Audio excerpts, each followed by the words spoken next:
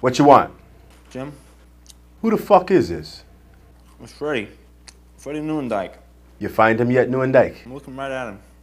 So what's Mr. White's real name? Dimmick. Lawrence Dimmick. D-I-M-S-C-K. Good work, Newandyke. We'll see what we can find out about Mr. Dimmick's ass. All right.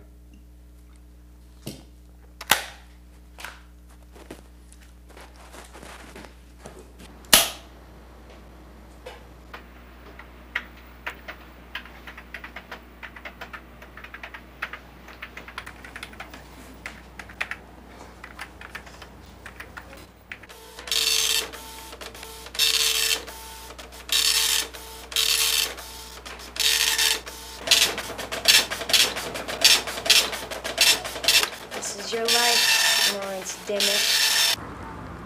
All right, McCluskey, read us what you got. All right, Lawrence Larry Dimmick, also known as Lawrence Jacobs and Alvin Al Jacobs. This guy is Mr. Joe Armed Robbery. He's a pro, and he makes it a habit not to get caught.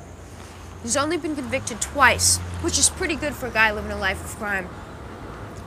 Once for armed robbery when he was 21 in Milwaukee. What was it? A routine. It was a payroll office at a lumberyard. Um, first offense, he got 18 months. He didn't get busted again until he was 32. It was a routine vice squad rouse. You know, they rouse this bar. Um, Buddy Lawrence is in there knocking down a few. He gets picked up. They give him two years for that. God damn, it's a hard time. So far, it's the only time he's ever done. So this uh, Vice Squad bullshit go down in Milwaukee? No. No. Vice Squad Rouse was in LA. He's lived in Los Angeles since 77. When you do this time?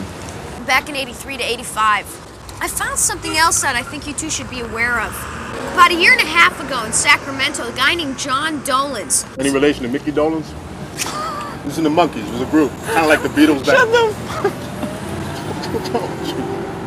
Sorry, go ahead. Well, anyway, this guy named John Dolans was in Sacramento. He's an undercover cop. He uh, works his way into a bank job. Apparently, before the job, they found out that he was a cop.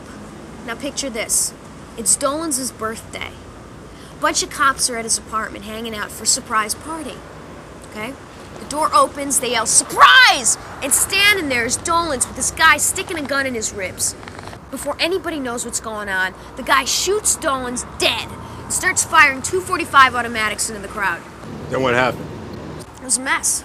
Cops got hit, wives got hit, girlfriends got hit, his dog got hit. People got glass in their faces. Three were dead, six were wounded. They pinned, pin the killing on uh, one of the bank robbers? We tried, but they didn't have a positive ID, and, you know, all those guys had alibis. Besides, uh, we really didn't have anything on them, except the testimony of a dead man that they were gonna commit a robbery, but, you know, they never committed the robbery. Larry Dimmick was one of the boys? It's probably the one. Just how sure are you of your cover? Well, today they may know something. Tomorrow they may know something else, but yesterday they didn't know jack shit. So, what's the next step? Next step is you do what they tell you to do, man. You stay in your apartment till they call you. I'll have a couple of men posted outside, follow you when they pick you up.